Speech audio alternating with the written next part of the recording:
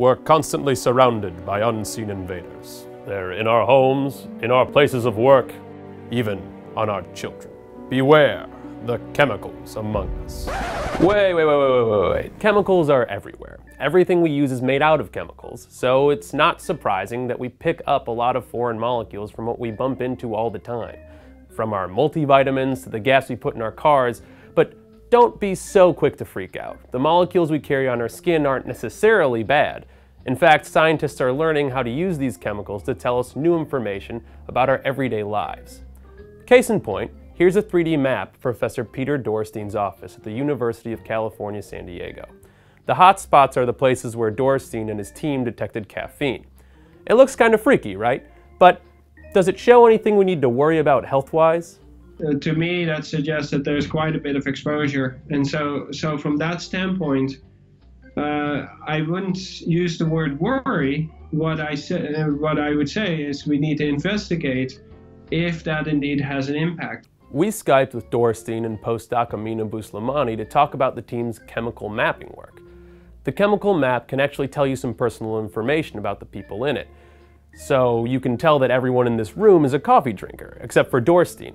His face is the only one that isn't splotched with caffeine. If we zoom in, there's the spot where some bozo spilled coffee on Dorrestein's carpet. So now you know who not to invite to your next party, but more importantly, chemical maps like this could also be super helpful for things like investigating a crime scene. The chemicals we leave behind on surfaces like doorknobs connect like a personal mark or signature.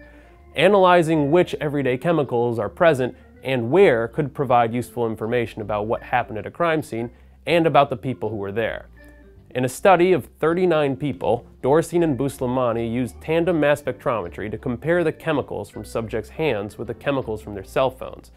This approach could match phones to their owners 69% of the time. Now, that isn't on the same accuracy level as fingerprinting or DNA identification, but it allows scientists to get a better picture about the people who left those trace molecules.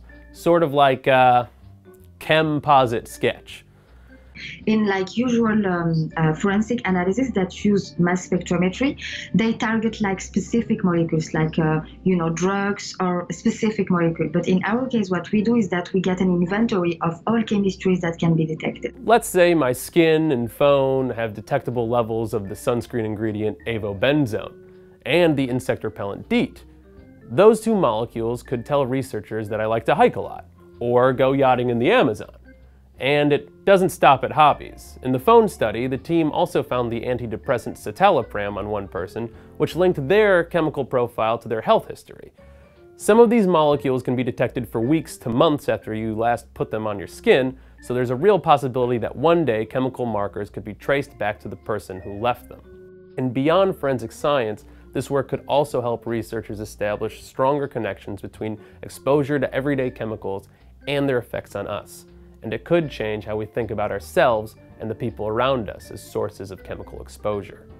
What I think is there's limited knowledge out here is what what are the consequences of low level uh, antibiotic exposure or even antidepressant exposure because somebody in your household is using it. There's still a lot to learn about how we affect and react to the chemistry in our environment. That's why Dorrestein's lab and others like his are hoping to collect the data and develop the tools to help us better answer those questions.